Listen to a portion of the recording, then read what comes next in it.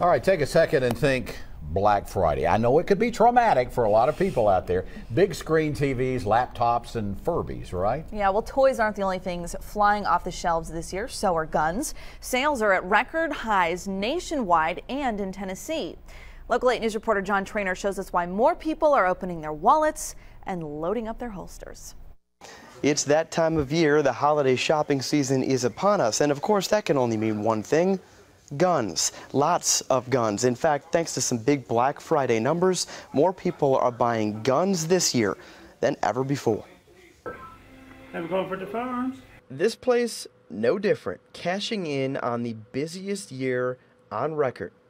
So we're up right now probably 50, 60% over last year. That's a remarkable since the election. number. Right, right. We're pretty excited about it. So how many people loaded up on Black Friday? Well, last year across the country, the FBI ran nearly 130,000 background checks. This year, up 20%. In Tennessee, 4,851 last year, and this year, up again.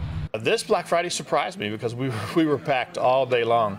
It turns out it has nothing to do with the season, though, and everything to do with the White House. Fears that President Obama will enact gun control laws. Sure, he passed no serious gun control legislation at all in his first term, but customers are sticking to their guns and not buying into the gun friendly administration.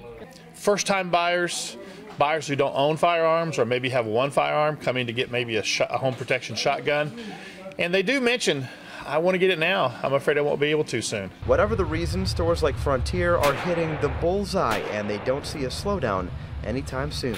In Kingston, John Trainer, VLT, Local 8 News. And Frontier says while gun sales are up, so is enrollment in safety classes. That's some good news. And the number of women taking firearms training has doubled. Pretty